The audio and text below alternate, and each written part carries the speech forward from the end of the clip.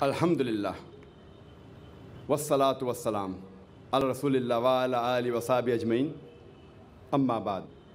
أعوذ بالله من الشيطان الرجيم بسم الله الرحمن الرحيم ما كان محمد أبا أحد من رجالكم ولكن رسول الله وخاتم النبيين وكان الله بكل شيء عليما رب اشرح لي صدري ويسر لي أمري وأحلل عقدة من لساني يفقه قولي My respected elders and my dear brothers and sisters, I welcome all of you with the Islamic greetings.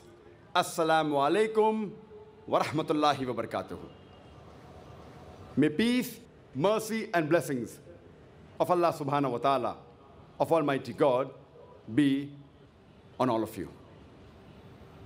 The topic of this evening's talk is Muhammad, peace be upon him, in the various world religious scriptures.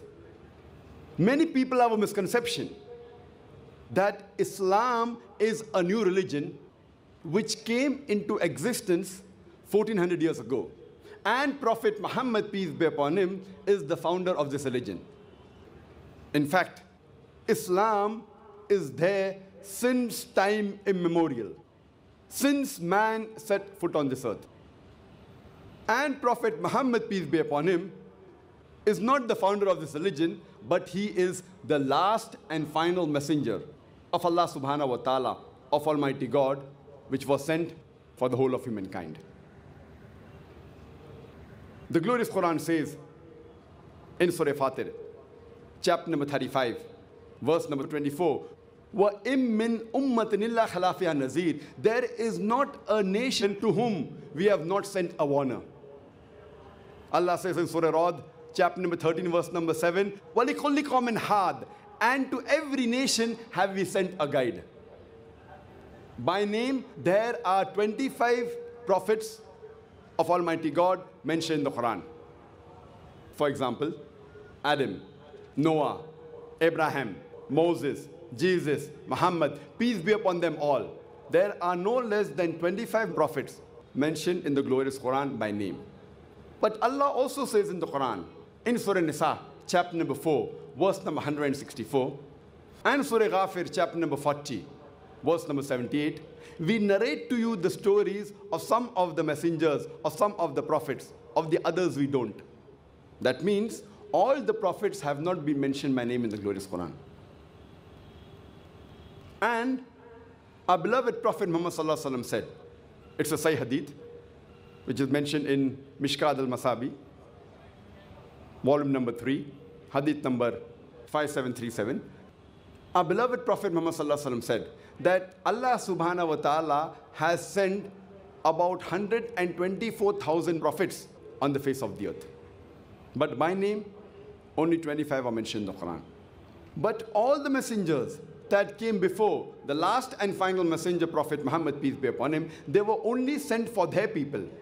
And the complete message which they brought was only meant to be followed in totality till a particular time period. All the messengers that came before Prophet Muhammad, peace be upon him, they were only meant for a particular group of people. For example, Isa alayhi salam, Jesus Christ, peace be upon him, was only sent for the Jews, for the Bani Israel. Allah says in the Quran, in Surah Al Imran, chapter number 3, verse number 49, that Jesus Christ, peace be upon him, was sent as a messenger to the Bani Israel, to the children of Israel.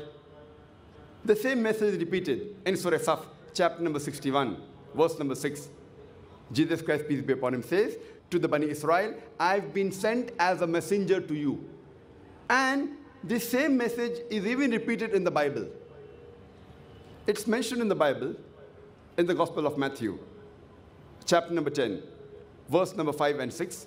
Jesus Christ, peace be upon him, says, He tells to his apostles that, Go ye not into the way of the Gentiles. Who are the Gentiles? The non Jews, the Hindus, the Muslims. Go ye not into the way of the Gentiles. Enter ye not into the city of the Samaritans, but rather go to the lost sheep of the house of Israel. The same message repeated in the Gospel of Matthew, chapter number 15, verse number 24, where Jesus Christ, peace be upon him, himself says that I have not been sent but to the lost sheep of the house of Israel. That means, according to the Quran and the Bible, Jesus Christ, peace be upon him, was only sent for the Bani Israel, only for the Jews, for the children of Israel.